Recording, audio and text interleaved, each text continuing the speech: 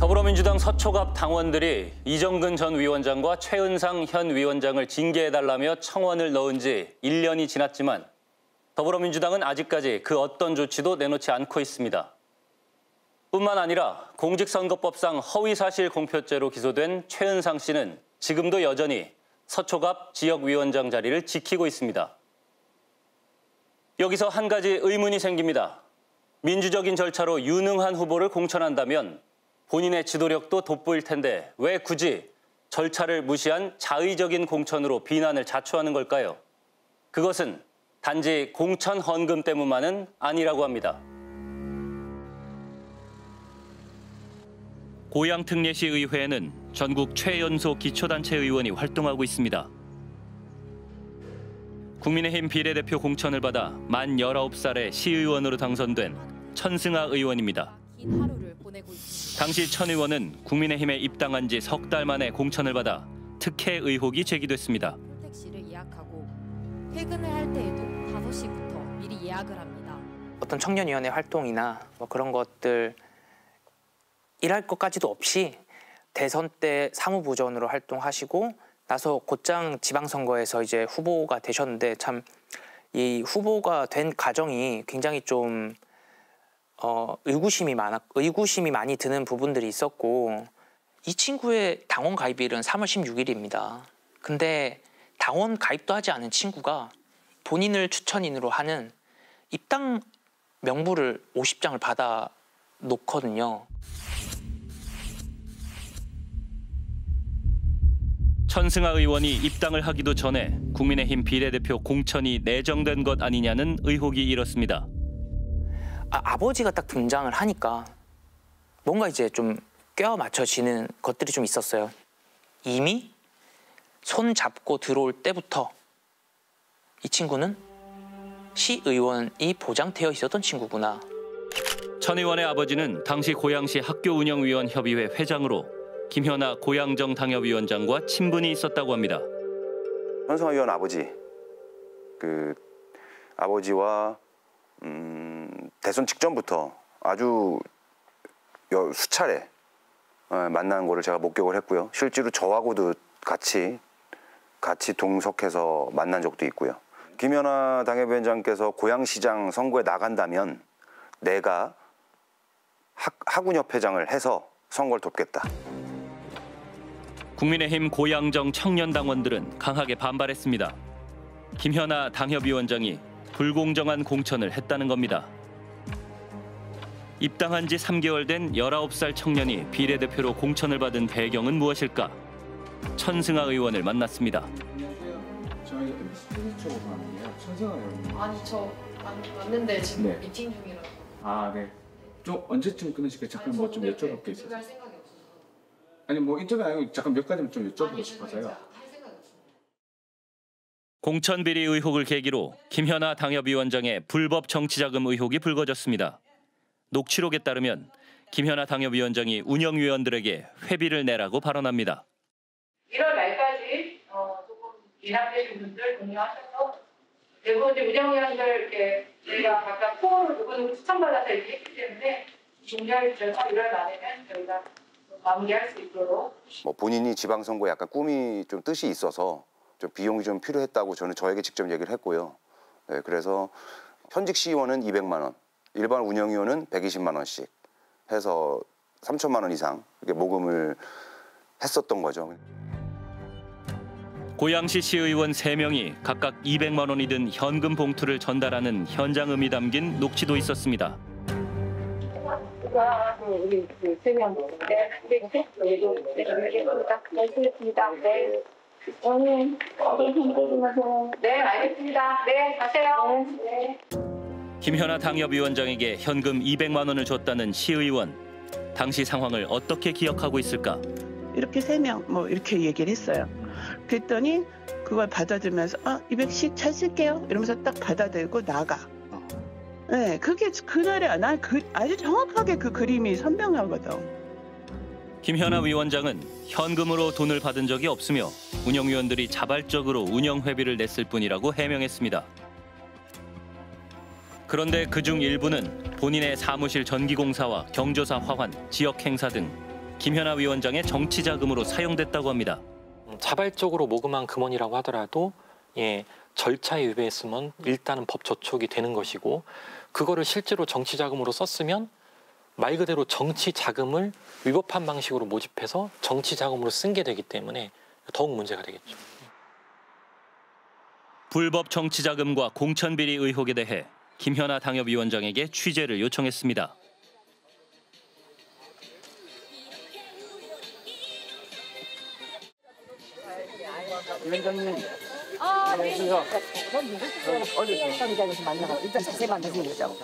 안 돼요. 피디님, 제가 인터뷰 안 한다고 말씀드렸잖아요. 저희는 먼저 좀 이제 의원 위원장님 입장을 먼저 듣고 아니, 그- 아니, 그러니까 예, 그런 배려는 감사한데요. 저는 충분히 페이스북에서 말씀드린 거 외에는 더 이상 지금은 말씀드릴 게 없으니까 저한테 팩트, 아니요, 저는 방송에 출연하지 않을 겁니다. 예, 방송에 출연하지 않을 거고요. 팩트 확인이 언론인으로서 필요하신 분이면 저한테 서면으로 주시면 문자로 간단하게 주시면 제가 간단하게 말씀드릴게요. 오늘은 여기까지만 하겠습니다. 서면으로 답하겠다던 김현아 위원장. 하지만 끝내 답이 없었습니다. 광주의 더불어민주당 당원들도 지방선거에서 공천 비리 의혹을 고발하고 나섰습니다. 광주 서구갑에서는 지난해 지방선거에서 낯선 후보자들이 공천됐다고 합니다.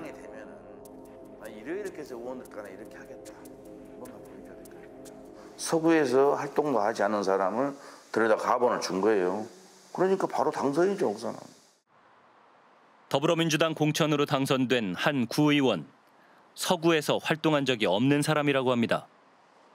이분이 강상구였죠. 강상구에서 활동을 했어요. 예. 근데 저희 서구 사람들은 몰라요, 아무도. 저 사람이 누구지 그러는 거예요. 만약에 제가 이제 그 어떤 사- 분들이 정치적인 꿈이 있고 야망이 있고 해봐야서 한다면 그 지역에서 뭐 어떤 자정단체에 들어가서 활동을 한다든가 이랬을 거 아니에요. 그런 거 전혀 없는 분이에요. 민주당 비례대표 공천을 받아 당선된 다른 구의원도 마찬가지였습니다. 그분도 북구에서 활동하다가 그냥 와서 그냥 있는 거예요. 그냥 비례대를 준 거예요. 비례는 여기서는 우리 서구 같은 경우는 두 명이거든요. 두 명 다 당선됩니다. 다른 지역에서 살다가 공천을 받은 구의원 후보들과 지역 위원장과의 관계가 주목을 받았습니다. 더불어민주당 광주 서구갑 지역위원장은 송갑석 의원. 송 의원은 본인이 직접 훌륭한 후보를 발굴한 것이라고 해명했습니다. 아니구나. 상당히 가까운 친구의 아내가 저희 지역구의 기초의원으로 비례로 이번에 고- 공천을 받았어요.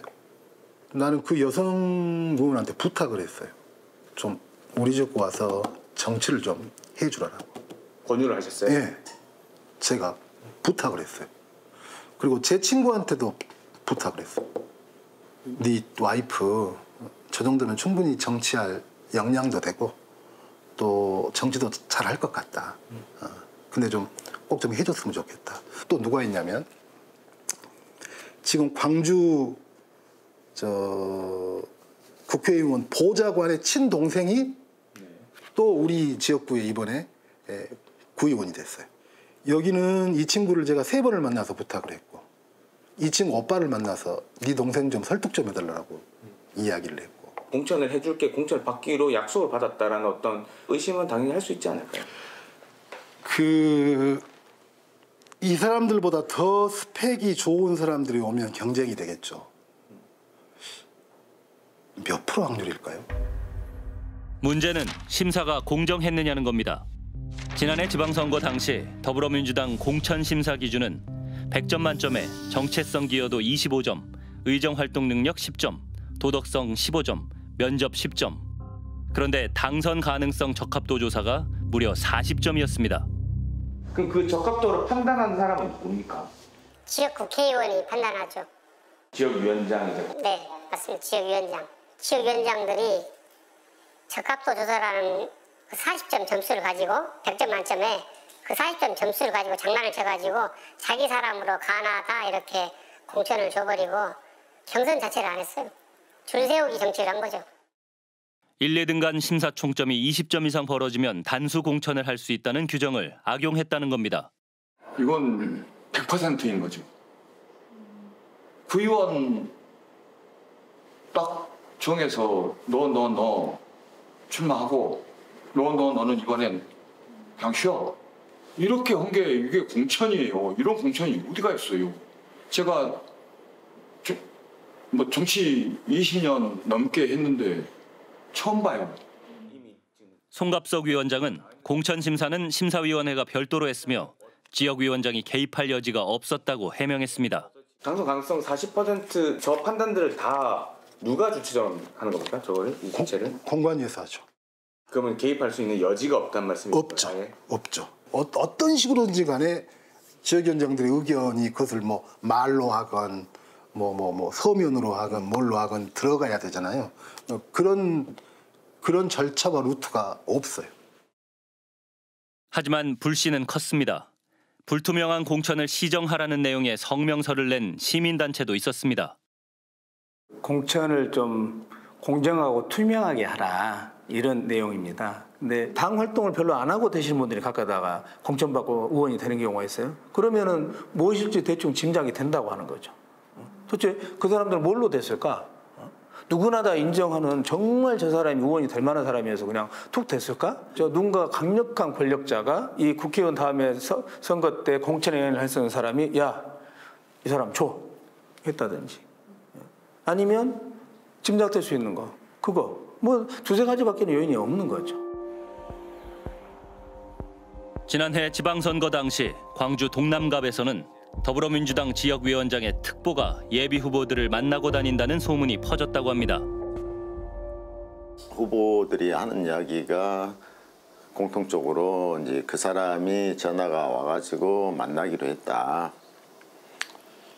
그래갖고 그 사람을 만나면 어떤 이야기를 해야 되느냐를 나한테 이제 물어보더라고요. 그래서 후보들을 만날 필요가 없는 사람이 왜 만날까? 지역위원장 정무특보의 정체는 동남갑 지역위원장 윤영덕 의원의 지인이었습니다. 의원한테 전화를 했죠. 윤영도 의원한테요. 예, 예. 그랬더니 의원님은 상당히 걔를 그 신뢰하는 이런 관계고 그 좋은 사람이라고 이야기를 하더라고요. 그랬어요.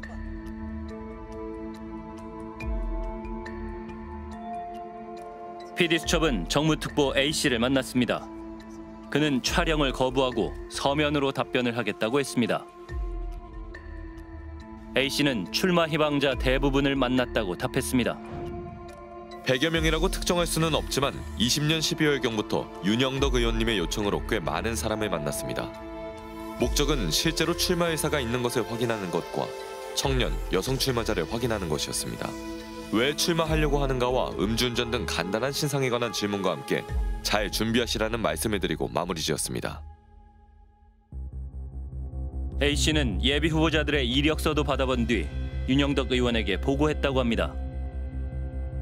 만남 이후 21년 3월에서 4월경 약 20여 명의 이름과 전화번호, 대표 양력 등 프로필을 간단히 정리하여 윤영덕 의원님뿐만 아니라 의원실의 상근 직원들과도 공유하였습니다. 공천에 관여한다는 것은 제 권한과 능력 밖의 일임을 정확히 말씀드립니다. 정무특보를 내세워 예비 후보자들을 만난 이유는 무엇일까? 윤영덕 의원 또한 촬영을 거부하고 서면으로 답변을 보내왔습니다.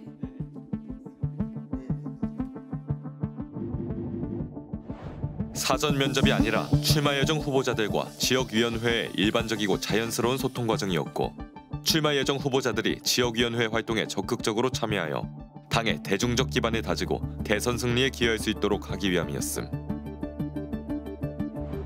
지난해 동남갑 지역구에서 당선된 구의원 중에는 지방선거 직전 윤영덕 지역위원장에게 남편과 언니 이름으로 각각 500만 원씩 총 1천만 원을 후원한 경우도 있었습니다. 이 시기상이나 타이밍상으로 조금 부적절하거나 오해가 있을 수 있다는 생각도 하지 않으셨습니까? 아니 그거는 뭐 그런 의도로 저기 한 건 아니었으니까요. 그럼 의도랄까요? 그럼 어떤 특별한 의도가 있어요? 뭐 아니 그러니까요. 뭐 공천 관련해서 그걸 줬냐 뭐 이렇게만 물어보시는 거잖아요. 네네. 네, 그러니까 그런 의도는 전혀 없었어요. 그러면 그 이제 후원을 하는 의도나 이런 부분은 어떤 부분이죠? 어, 저 답변 그만하겠습니다. 광주에서 더불어민주당의 공천을 받은 당선자 중에는 비리에 연루된 사람이 여러 명 있다고 합니다. 예를 들어서 어, 지금 시 광주 시의원 중에는 이해 충돌과 어, 이해 충돌에 얽혀 있는 그리고 어, 외부 기관으로부터도 지적을 받고 내부에서도 윤리위원회에서도 지적받는 후보 또 실제로 비위에 연루돼서 지금 해외에 도주 중인 시의원도 있어요. 그럼 그들은 누가 공천을 줬죠? 아, 이제 이제는 그러면은 지역위원장들이 아, 그 사람들 당원들이 선택하지 않았냐라고 말할 수 있나요?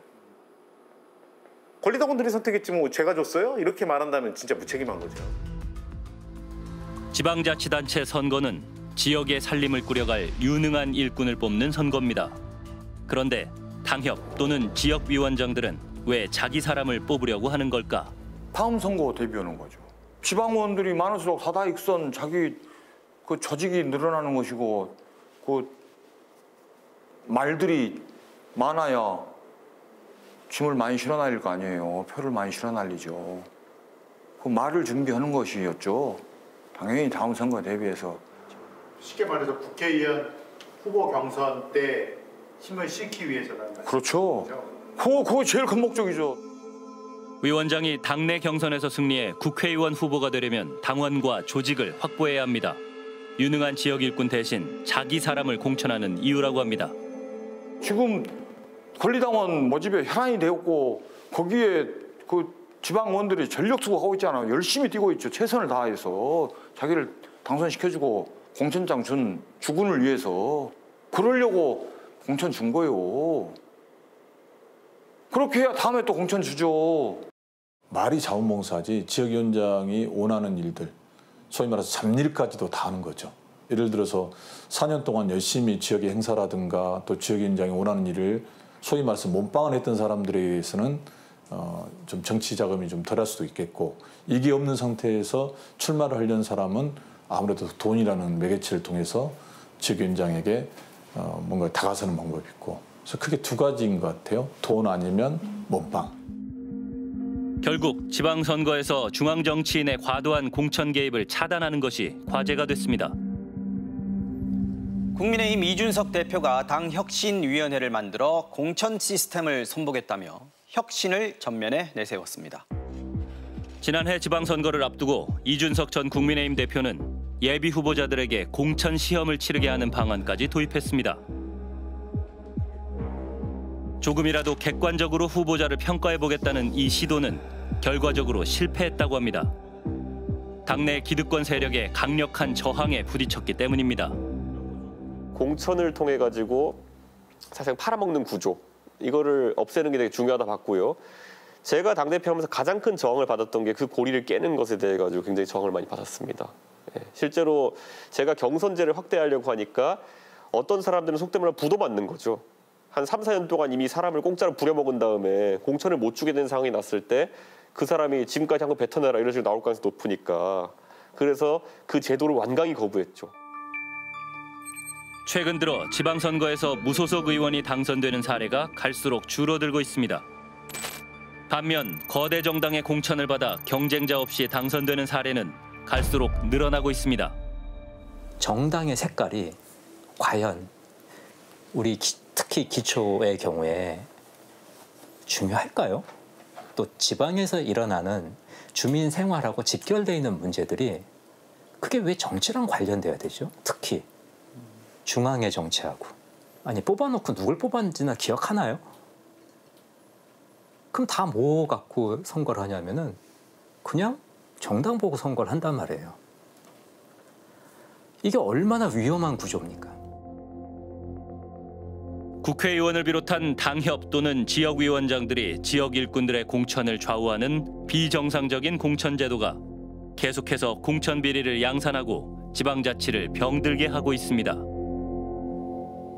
이번 취재를 하면서 만난 지역 정치인과 전문가들은 한결같이 공천 제도를 개선하는 게 시급하다고 지적했습니다.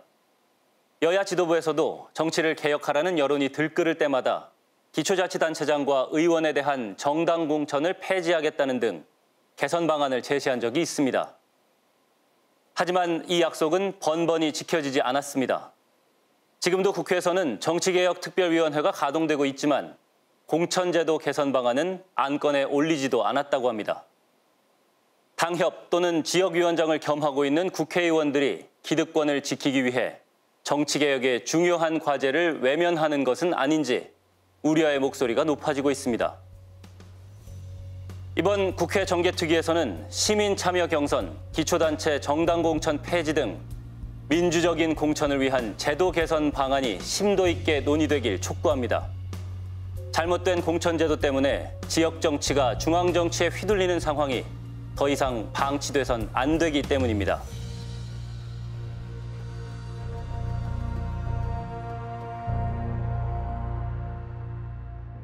PD수첩에서는 지난 18일 서울 서초구 S초등학교에서 교사가 극단적 선택을 한 사건에 대해 아시는 분의 제보를 기다립니다.